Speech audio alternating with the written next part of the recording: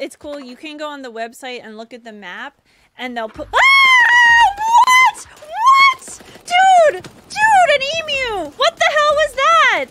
Whoa! Are there mounts in the. Was that Gem?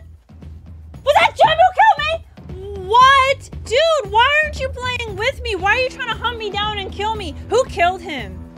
Proto, yes! Proto, I'm gonna mod you for that. He was probably planning that for hours.